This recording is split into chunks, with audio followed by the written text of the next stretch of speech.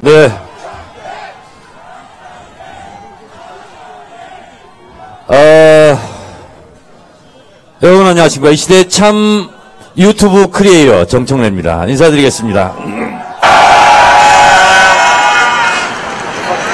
김경수는 죄가 없다. 제가 생각하는 이유를 몇 가지 말씀드리겠습니다. 모든 재판은 증거에 의해서 판결해야 합니다. 증거 재판주의라고 하죠. 그런데 이번 판결은 궁예의 관심법에 의한 심증만을 가진 보인다 판결이라고 생각하기 때문에 김경수는 죄가 없다고 생각합니다. 첫 번째, 증거, 직접 증거가 없습니다. CCTV나 녹취록이나 이런 직접 증거가 없을 때는 정황 증거를 끌어들여 판결한다고 합니다. 이 정황 증거의 핵심은 진술자의 진술의 일관성과 신빙성이라고 합니다.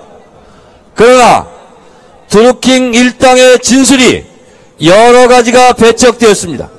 첫 번째, 김경수 지사가 오른쪽 호주머니에서 100만 원을 꺼내서 경력금을 줘서 그것을 피자로 사먹었다. 이 진술이 허위로 입증되었다고 합니다. 따라서 그 진술은 증빙, 신빙성과 일관성 면에서 탄핵되었습니다. 두 번째, 김경수 지사가 킹크랩 시연을 받았다는, 받다는 증언을 했던 사람들의 진술이 창가에 붙어봤다, 창가에서 1m 떨어져 봤다, 라고 진술했다는데 창이 없다고 그럽니다. 이 사람들 말을 믿고 재판을 한 것은 엉터리 관심법 재판이라 하지 않을 수 없습니다.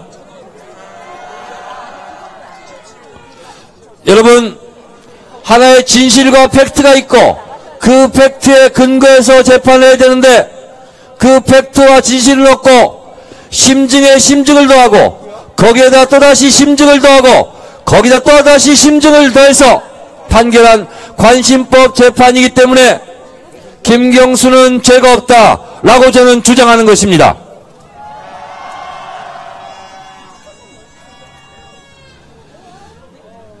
진술이 신빙성이 없고 심증적으로 재판할 때는 이거다 저거다 구분이 잘 안 갈 때는 그때는 억울한 사람을 만들지 않기 위해서 피고인의 이익에 따라서 재판해야 한다고 합니다.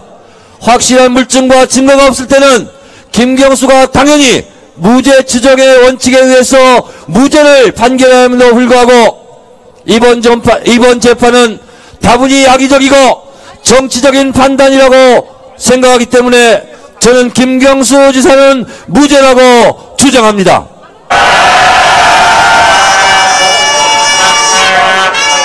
여러분 김경수 지사에 대해서 변호인들은 법정에서 그리고 김경수 지사의 무죄를 확신하는 우리 시민들은 광장에서 김경수 지사를 구출하기 위해서 오늘 이 자리에 모였고 다음 주에도 그 다음 주에도 계속 모여서 김경수 무죄 김경수 석방을 주장해야 하는 이유가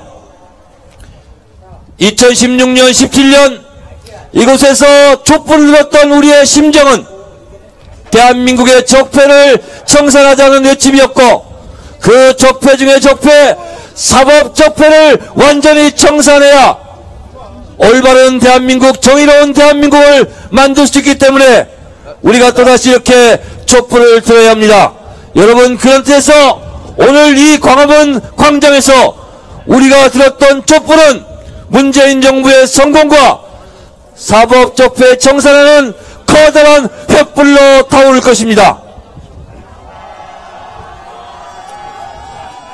오늘 이 자리에 모이신 여러분들께서 애국자입니다. 21세기 조선 의열단입니다.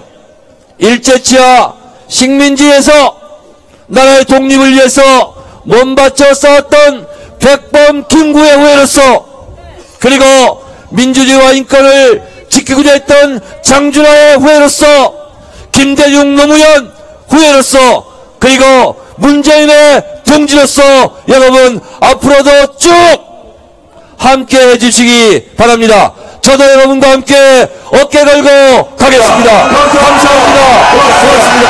고맙습니다.